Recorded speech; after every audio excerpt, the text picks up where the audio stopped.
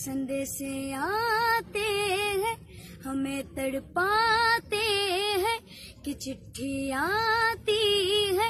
तो पूछे जाती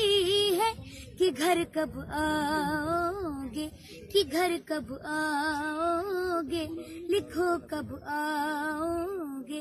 कि तुम बिन ये घर सूना सूना है ए गुजरे